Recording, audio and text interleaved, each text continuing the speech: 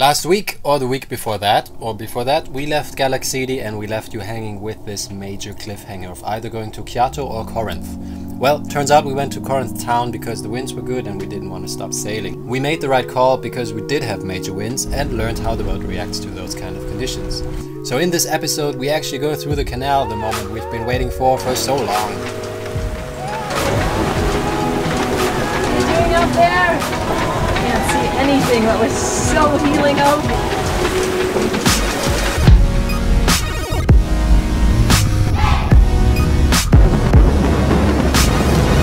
We're 10 minutes off the channel. We want to anchor there for the night. Great idea, right? Great idea with 25 round winds, gusts 30. Four predictions said they're gonna die down. Yes, they will. At 10, it's 5. so 5 hours of storms. We're gonna get the main in and then find our anchor spot. That's the channel over there. Eventually, we chose not to anchor in front of the channel but to go into the small boats harbor of Corinth, mainly due to the weather. It has mooring buoys scattered like a minefield, so you can basically tie up however you feel like. Switching lines. Yeah, that was a bit of a improvised mooring. Very much so. Yeah, there's a, there's mooring buoy over there. But I wanted to get in and uh, tie up first and then get into forward here to straighten up.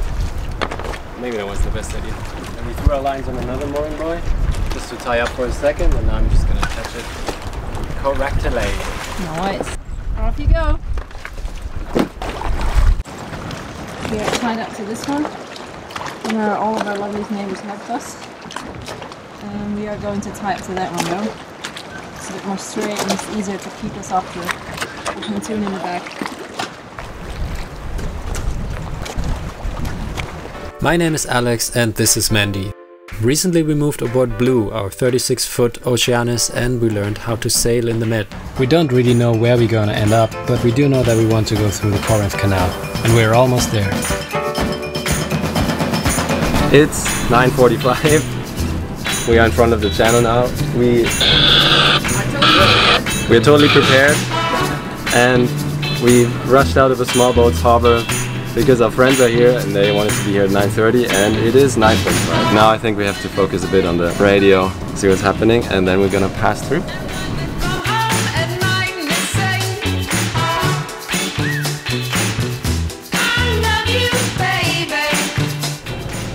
Blue juice for Corinth Canal. Stand by, thank you. Nice, nice, nice! I'm excited. Blue juice from corn canal. This blue juice?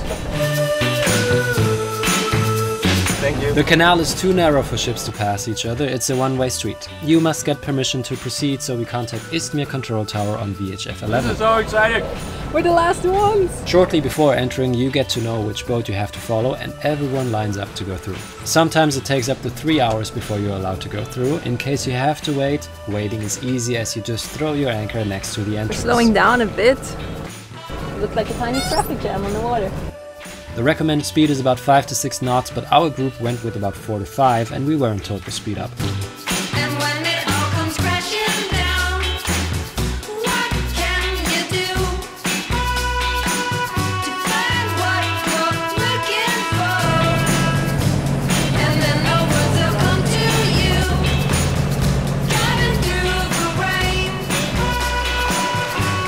At one point you can notice there are a lot of neatly cut holes in the walls going from the top all the way down. These were the steps used by the workers to climb into and out of the canal.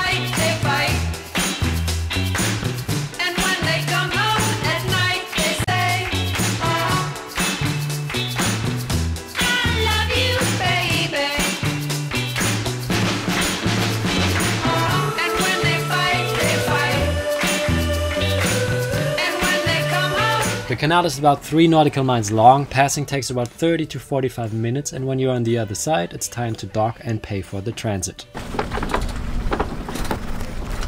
We're tied up to the pier to pay. Got help from Zin. Oh, I got the boat license. And uh, we let another boat moor up alongside. So, payment time. A bit stressful. We just helped another boat tie up to ours because there's not that many spaces to get on. It was a bit stressy. Did you say that? That it was a bit stressy? Ooh, ooh, and this is hot. And the next we're off. We made it. It's a pretty cool, pretty cool ride. Brought Alex the rest of the papers because he needs that to fill out the form and then we pay and we're good to go. Next stop is either Salamina or Aegina. You work out? That took longer than the passage. it took really long, huh? Poor man. How many people are still in there? uh, two, I think. Okay. Yeah, just these guys and some other gun. Everybody left, huh? Yeah, everybody left. Oh, well, what are we doing then? It's just us. Is Frank done? Oh, he's done. Yeah, he's done too. All paid up? Yeah, How much was it? 150. That's okay. That's fine, yeah? The boat next to us ends in just both left because we were all waiting. We're the last ones in the office to pay, and they just threw off their lines and left. And the guy started, screaming up at us, saying, "Don't go! Don't go! Stay! Stay!" So, because the next charge, like boats, is coming in, and now we're the only one that stayed behind. so we're still waiting until they tell us we're allowed to leave, and it might take uh, like 15 minutes because all the other boats are going through now in the other direction. Some well planning we did. There's wind. There is a lot of wind. It says every place is dangerous, take care of this and that. There's too much wind there and a force 7 to 8 there. There are even whirlwinds. Fun. It starts in June. Gets worse in July, August and September, which is exactly the time we're here. And then dies off in October. Also it says the summer months are hot and windy. No rain, and many of the islands run short of water. So today we have about a three or four hour trip in front of us. we did most of it, but it is so hot because there's no wind and it means we're motoring all the way so it's loud and no wind also means nothing that cools you off from this blistering sun. So I uh, kind of hiding in the shade of the boom Alex is hiding in the shade of the mast. Soon we'll be in. Did you tell them already where we're going? Soon we'll be in. Oh god, Aegina. It's the second island south of Athens. We will be trying to get into the harbor, which probably won't work because there is loads of day trip and weekend trip boats that come from Athens to go there because it's quite close. So we probably will be anchoring right outside the harbor, which is also fine.